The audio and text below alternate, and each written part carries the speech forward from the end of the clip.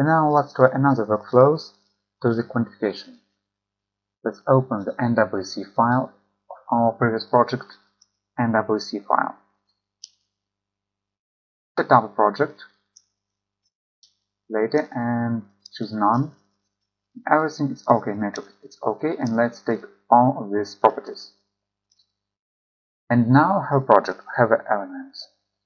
And let's do not make the item catalog in item catalog. Let's do it from scratch. Okay. Let's take a wall, the same, same type, and then it's pretty easy to quantification and make new catalog for it. Now I have one new catalog.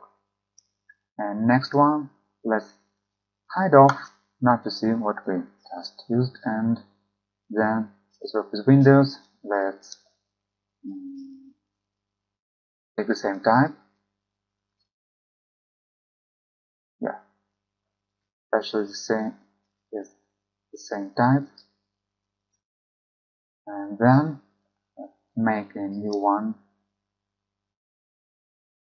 Junior catalog item. Now have more, for them. And let's continue with interior walls. just let's uh, hide this strange thing.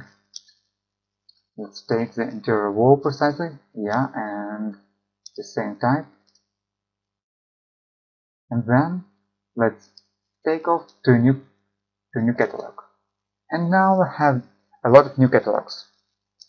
But we can organize them in item catalog. So go there and let's make new group because all of them, them are the items, not the groups.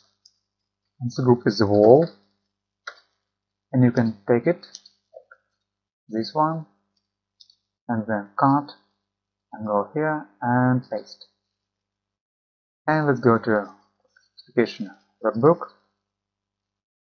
And now we can see that we have walls external and internal ones. But why do we have four of it? Four. And how did he sort it?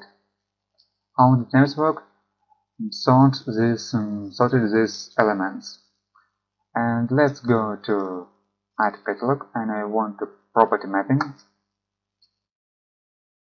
Let's use uh, description 1 and the item and the layer because I'm pretty sure that he's using the layer. The layer. Okay, let's go back to workflow, quantification workbook, and change analyze.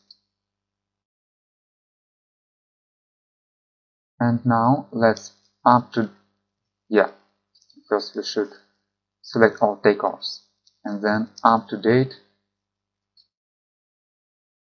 and then for this one and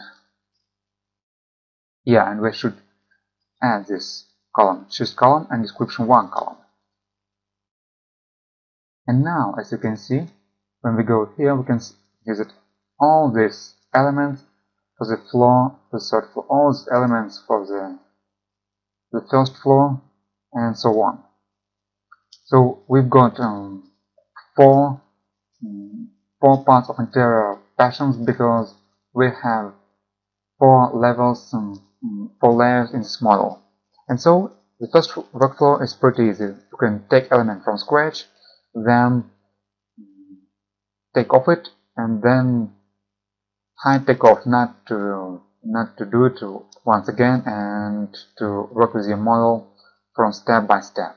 It's one of the workflows.